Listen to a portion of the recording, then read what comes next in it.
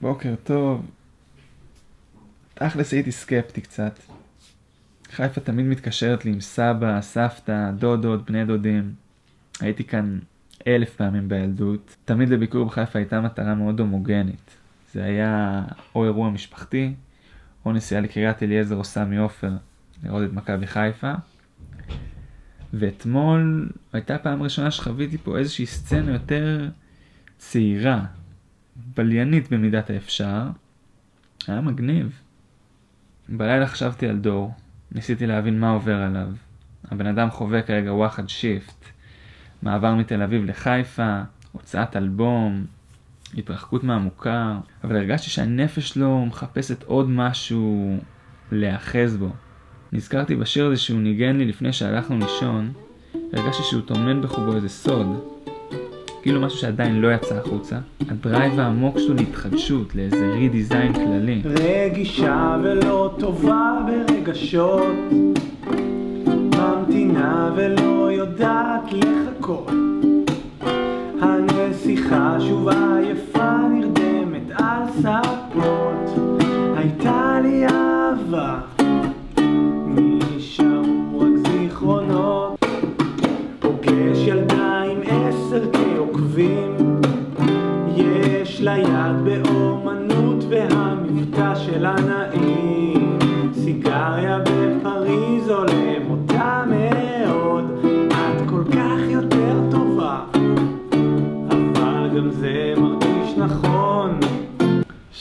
כזה מפחיד, מפחיד לשחרר, שיש לך משהו טוב בידיים.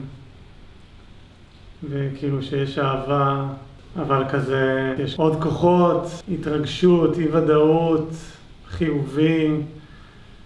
כאילו הלא נודע זה, יש לי crave אליו. וזה שיר כזה לצאת לדרך, לצאת on the road, וכאילו, וואלה זה עצוב, אבל... כאילו יום שגרתי בלואוור איסט סייד של חיפה, אבל היום דור קומט הולך לקשור את כל הקצוות.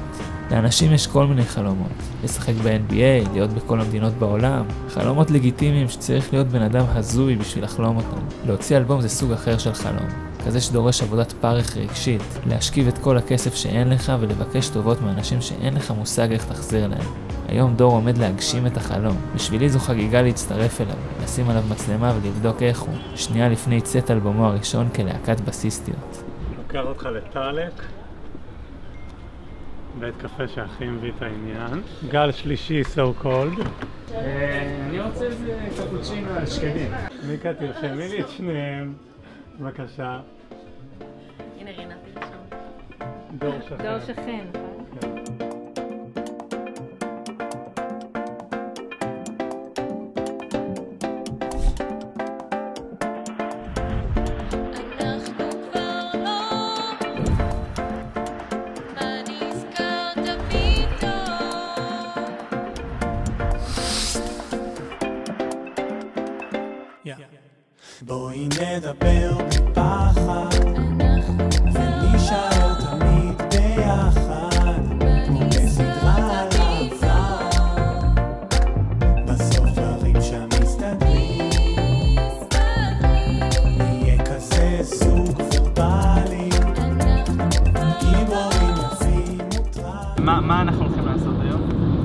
אז ככה, קיבלתי בוסט אנרגיה של להתחיל לקדם את, המוזיקה שאני מוציא. כי יש דבר אחד שזה ליצור את זה, ודבר שני לקדם את זה. מאוד קשה למכור מוצר שאתה לא עד הסוף מאמין בו. כאילו, מבחינתי זה חמוד, אני אוהב, זה כאילו מביא, מביא, לי, מביא לי איזה נחמה ועושה לי טוב אה, ליצ- ליצור את הדברים, אבל לבוא ולמכור את מרכולתי המוזיקלית זה קצת... זה, וואלה, אני, זה די מזיז אותי באי נוחות. עכשיו קיבלתי איזה בוסט. יצאנו מחיפה, עוברים ברשפון, לשים 400 שקל, ממשיכים לירושלים לתכנן את הקליפ, כן, ואז ממשיכים לתל אביב לחזרות. כן, איזה הופ... חזרות סלאש הופעת סלון. אה, של ב- בסיסטיות? של בסיסטיות עם מתן כספי. קיצר, מביאים 400 ניס לאיתמר בן יקיר, המכונה גם IBY. חצוצרן בחסד, ניגן אה, עם כמה שמות אה, לא קטנים. האמת שזה התשלום האחרון על האלבום, שאני עומד להוציא עוד uh, מעט. וואלה. פה אני סוגר את החוויה הזאת. עכשיו, כשאתה קונה אופניים, אז אתה שם את הכסף, ואז יש לך אופניים. אבל כשאתה רוכש אלבום, זה כאילו... שילמת לכל מיני בעלי מקצוע, מיקסר, מפיק, עניינים ופה ושם, ומה זה הדבר הזה? כאילו, אוקיי, יש את זה עכשיו, וכאילו... איך, איך זה... אתה מבין, אתה, לא יכול לנסוע עם זה ממקום למקום, זה לא, זה לא מוצר מוחשי. איפה ההיגיון להשקיע כל כך הרבה אנרגיה, כסף, מחשבה, רגשות על, על, על לינק בספוטיפיי, אחי? שבסוף הפוסט לא ממומן שאני אשים עליו בפייסבוק יגיע ל-17 אנשים. זה מרגיש אה, מופרך קצת. אווירה של מקדרייב, אחי, מק חצוצרה. שים בכיס. אז זה מילה איך היה בעבודה עם בסיסטיות. אני מאמין בפרויקט, מאמין ביוצרים, במפיקים, מוזיקה טירוף. תענוג, איזה כיף לנגן בזה.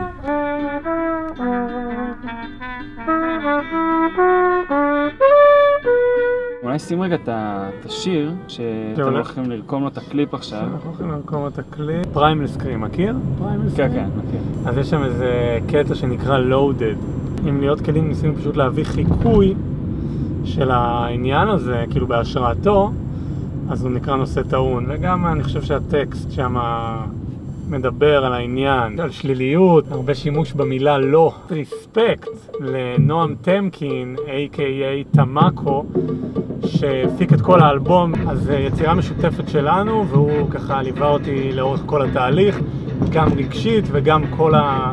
הפקתית. הפקית, הפקתית, כל הסאונד של האלבום של בסיסטיות זה, זה ידיו של נועם טמקין עם... אה, אני נתתי שם גם יד, אני חייב להגיד, אבל זה...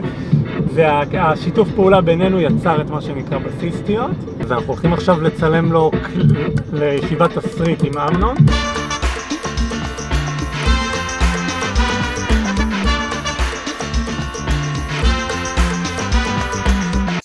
טוב, אז עברתי שיר שיר שלי, ובכולם יש את המילה לא. ו... גורם לי להרגיש שלילי.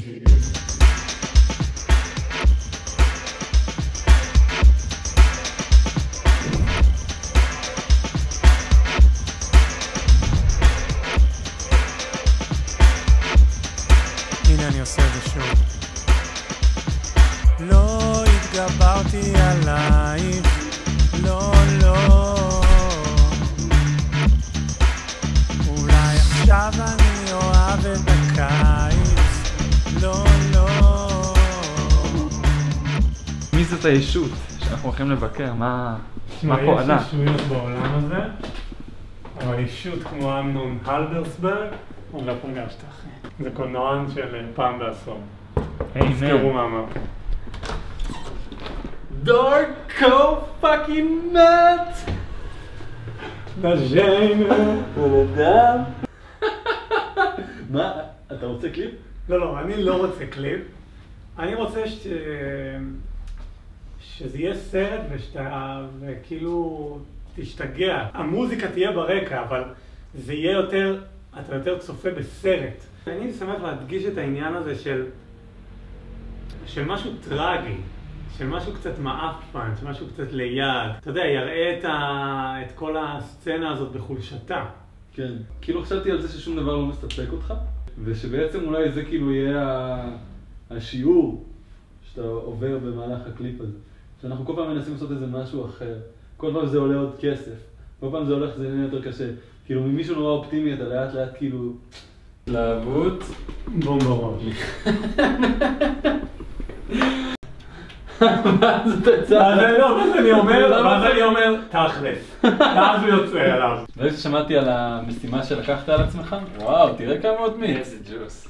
קיצור, אוקיי. ברגע ששמעתי על המשימה שלך, אני רוצה, כאילו, אני יודע איפה החומוס הכי טעים בארץ נמצא. איפה הוא נמצא? על איזה... בחומוסיית המלכים, מסעדת מאכלי המלכים בדיר אל-אסד, ו... יואו, נשמע לי כמו חתיכת. מוקד. תתכונן כאילו ל... לחוות את הדבר האמיתי. אשכרה. זה זה. זה, זה הולך כאילו להרעיד את עולמך. נעשה פרק. תענוג להכיר. ממש בוא ניסע. לדיר אל אסד ביחד. בדוק, אני ממש אשמח. יאללה. fuck קורונה. אנחנו עכשיו בדרך לפינאלה, דוהרים לעבר תל אביב. איך זה בשבילך, אתה יודע, עזבת את תל אביב כזה בחד משמעיות מסוימת. האמת זה תופס אותי במקום אה, לא, לא כל כך נינוח. כל פעם שאני חוזר אני מרגיש כל כך לא בלופ, לא באנרגיה. זה הכי המגרש הביתי שלי, אני הכי מבין את חוקי המשחק, אבל פתאום, פתאום משהו בא ולקח לי את זה. אני כאילו לא, לא מבין את הקטע, לא יודע איך להתנהל יותר, וזה, וזה גורם להרגיש חוסר שייכות ואי נוחות. אז בעצם יש מצב שכאילו התמה של הדבר אולי מצאנו היא היא חוסר שייכות. תשמע, אני לא יודע אם זה יישמע מבוים, אבל יש לי שיר בהקשר.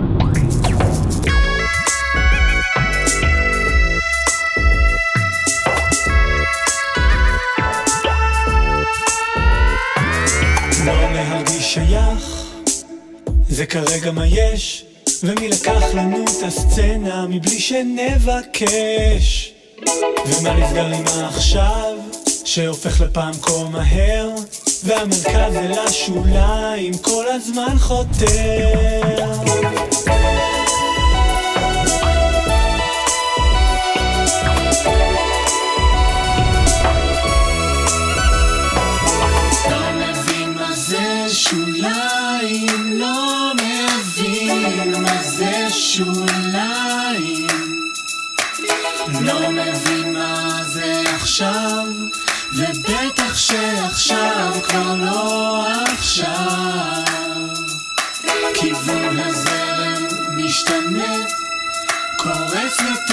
snowed in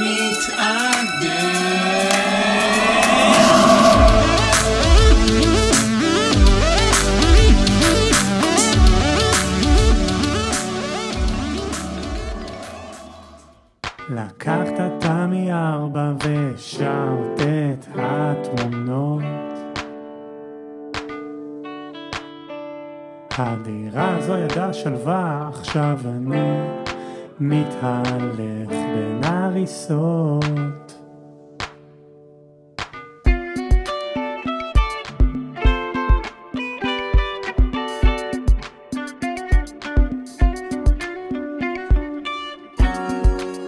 נכון. טקס הענקת המפתח של המנעול לאופניים הכי היפסטריות בתל אביב. אני רוצה להזמין את אה, ידידנו היקר, דור קומט. חווים לך המון אחריות במפתח הזה. כל מי שרואה אותך ברחוב אומר, בוא נעמיד להיפסטר הזה. שמור עליהם טוב. זה סטייטמנט, כאילו, לקחת את האופניים פה זה סטייטמנט. כאילו. כן, זה איזשהו שלב בשחרור, בשחרור מהעיר. זהו, אחלה, אוהב אותך, תודה על כל הדבר הזה. יאללה, דוד שוב. להתראות, תודה.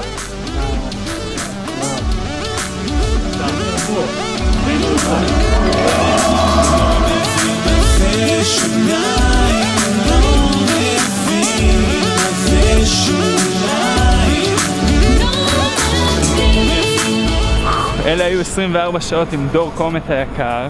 תל אביב, לא תל אביב, מוזיקה, קהילתיות, לא קהילתיות, על הסטראגל הכללי. אה, וזהו. אוי, איזה עייפות. היממה הזאת הציפה בי לא מעט מחשבות. כאילו שיקפה לי את הסטייג' שגם אני מצוי בו בהרבה רבדים. דור קומט מייצג בעיניי דור של מוזיקאים ואומנים שמצד אחד יצאו לחופשי מהשבלונה העתיקה, היקרה והמורכבת של הפקת מרכולתם האומנותית, במילותיו, אבל מצד שני גם גורמת להם לסחוב הכל על הגב. אני לגמרי יכול להזדהות עם זה. היום הזה גרם לי קצת לקנא בדור שהוא ככה משחרר את היצירה שלו, ובכללי אולי משחרר, וגם להבין כמה מעטים רגעי האושר של יוצר תוכן, וכשהם מגיעים צריך לתפוס אותם שלא יברחו ולחגוג אותם. לילה טוב.